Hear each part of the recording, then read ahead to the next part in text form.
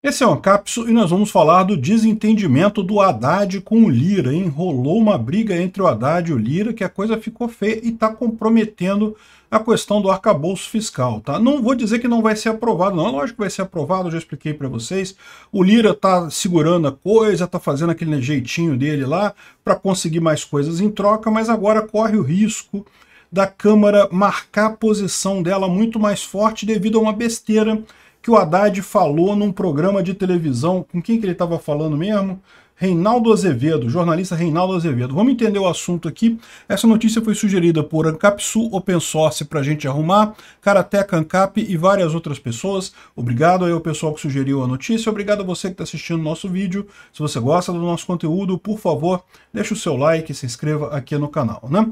Pois bem, o Haddad deu uma entrevista lá no programa do Reinaldo Azevedo, e é, reconversa o programa dele e, no determinado momento, falando sobre a, a situação do governo com a Câmara, é, ele falou que o fato é que estamos conseguindo encontrar caminho, não está fácil, não pense que está fácil.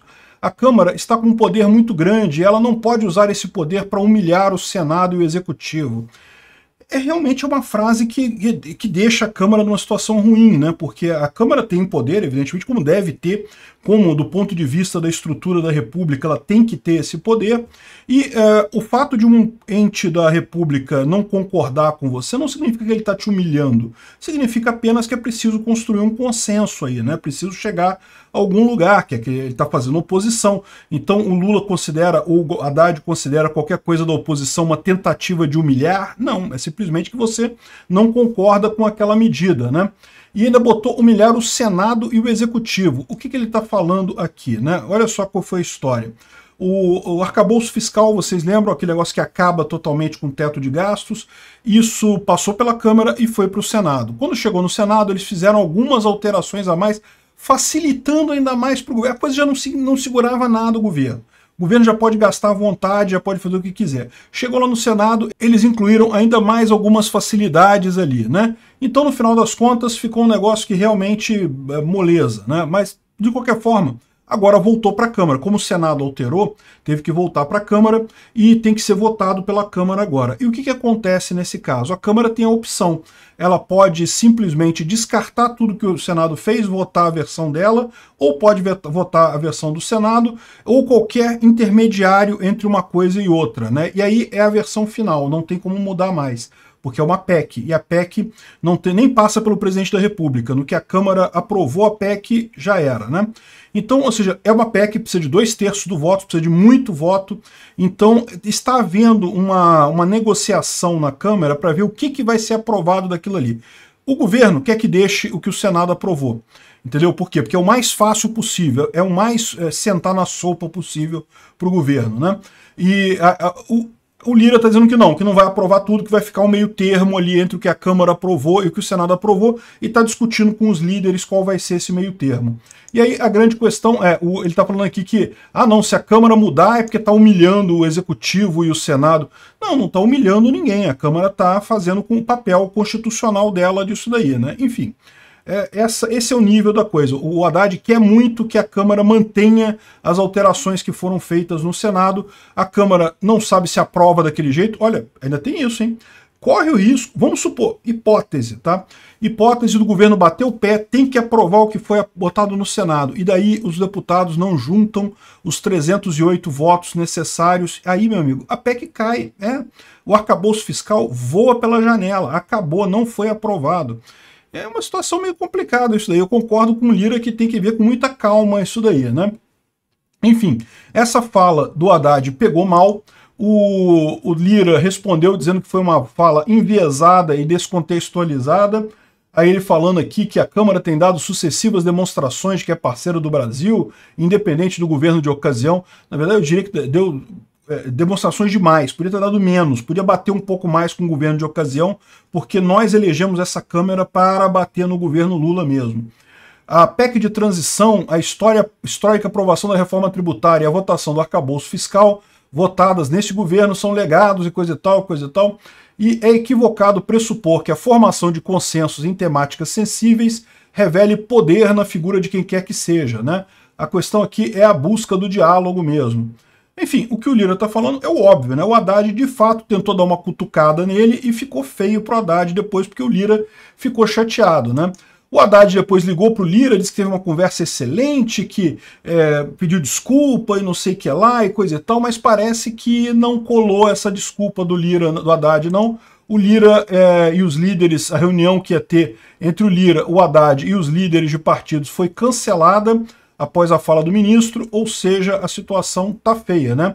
Mas é pior do que isso, porque na verdade teve a reunião, só não foi o Haddad. Eles decidiram depois ter a reunião entre o Lira e os líderes em que eles decidiram adiar a, a votação do novo marco civil.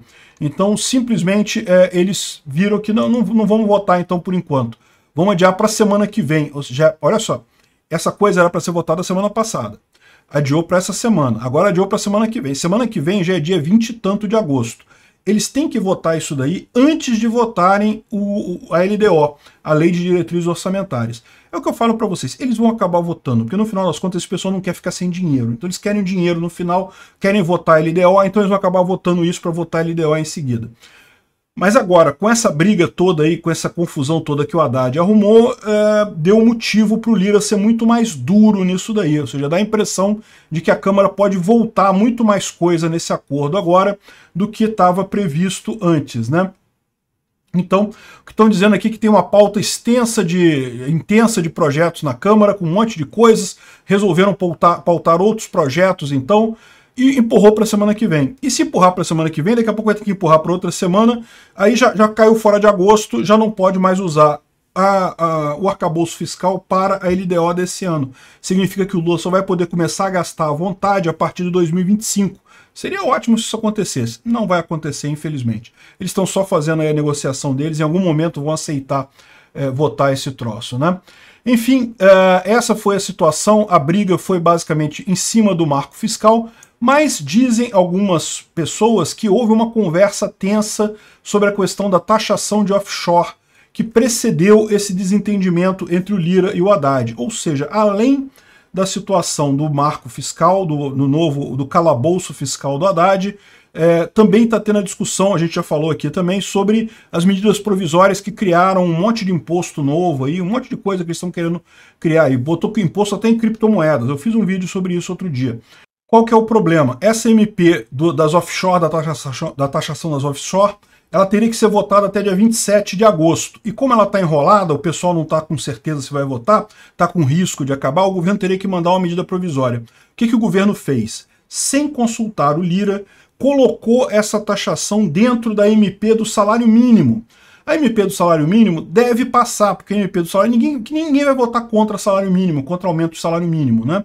Então, essa é a questão. Só que isso é meio que uma, uma sacanagem no Lira, né? Deveriam ter negociado isso com o Lira. O Lira ia querer isso daí na forma de um projeto à parte, né?